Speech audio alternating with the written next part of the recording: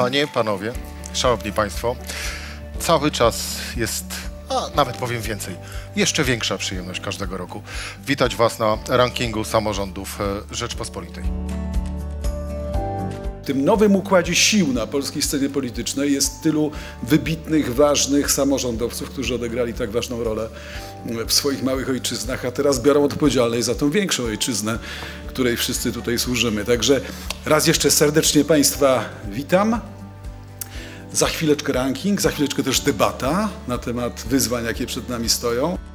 To niezwykle ważne, że Rzeczpospolita przeprowadza ranking samorządowy od 19 lat. Dlatego, że samorządowcy potrzebują jakiegoś porównania się nawzajem w sposób obiektywny, e, na liczbach, na wskaźnikach e, i także równania do najlepszych, przyglądania się, jak ci najlepsi działają, co jest najważniejsze przede wszystkim dla ludzi, dla naszych obywateli, Polek i Polaków. I to jest największe wyzwanie finansowanie samorządów i trzeba dzisiaj oczekiwać od władz centralnych, że będą decentralizować, zwłaszcza finanse publiczne, tak jak było to 25 lat temu. I to jest to największe wyzwanie, które stoi przed nami, przed Polską samorządową i liczymy przede wszystkim na samorządowców, że przekażą te opinie i te dobre nastroje samorządowe do władz centralnych naszej ojczyzny.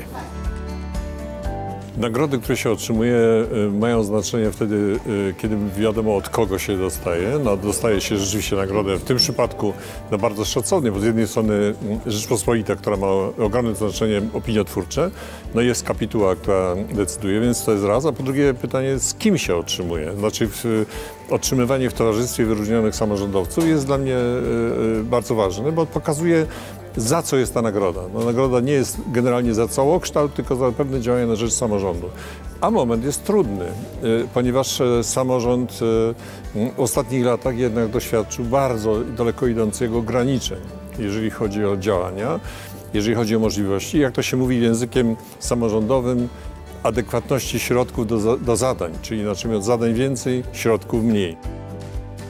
To wyjątkowa nagroda, wyjątkowa, prestiżowa i piękne podziękowania de facto dla moich mieszkańców, dla mieszkańców miasta Hrubieszowa, dla naszych sąsiadów również, bo oni nas, nas wspierali w tych e, działaniach. To wyjątkowy czas. Miasto niewielkie, blisko 17-tysięczne, w najbliższej odległości do granicy z Ukrainą, dwóch przegranicznych, było pierwszym miejscem, gdzie pierwszym miastem, gdzie obywatele Ukrainy e, oczekiwali, dojeżdżając, dochodząc, docierając e, pomocy i taką pomoc otrzymali.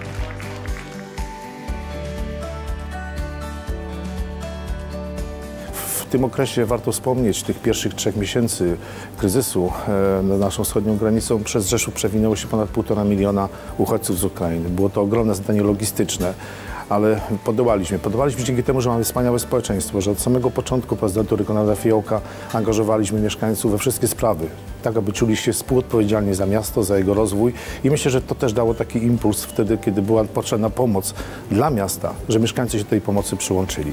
Dzisiaj staramy się wykorzystywać naszą sytuację też w taki sposób, abyśmy rozwinęli to miasto, aby stało się dużym centrum kultury, dużym centrum przemysłu dla całego regionu, bo cały ten region na to bardzo zasługuje. Nasze ostatnie osiągnięcia to przede wszystkim działania związane z dwoma kryzysami, z którymi poradziliśmy sobie przy dużym udziale pani wiceprezydent Sopotu Magdaleny Czerzyńskiej i Jachim. To dwa kryzysy. Kryzys uchodźczy, ale także y, kryzys pokowidowy.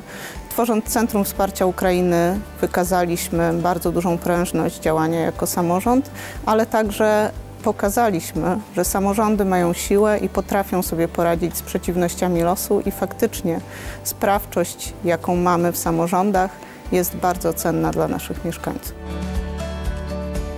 Ta nagroda ma duże znaczenie. Chciałbym podziękować Rzeczpospolitej, że prowadzi taki ranking. Jak również chciałbym podziękować pracownikom Urzędu Gminy i Miasta Ulanów i mieszkańcom Gminy i Miasta Ulanów i dedykować im tą e, nagrodę, bo to nagroda to nasze wspólne osiągnięcie za ciężką e, pracę. E, najważniejsze osiągnięcia w ostatnim czasie to remont zespołu dworsko-parkowego w Bielinach o wartości 5 milionów 600 tysięcy złotych jak również rozpoczęcie budowy mostu za kwotę 43 milionów zł- złotych przy budżecie e, 66 milionów złotych. Na początku bardzo chciałabym serdecznie jeszcze raz podziękować Dziennikowi Rzeczpospolita za to ogromne wyróżnienie. E, Dla gminy Sulmierzyce, sąsiad- sąsiadującej bezpośrednio z największą, najbogatszą gminą w Polsce, jest to ogromne wyróżnienie. E, Wyróżnienie, ale jedno, jednocześnie motywacja do dalszej pracy na rzecz społeczności lokalnej, jaką są nasi mieszkańcy. Na przestrzeni ostatnich lat gmina Sulmierzyce rozwinęła się, mogę powiedzieć, z czystą odpowiedzialnością w każdym zakresie.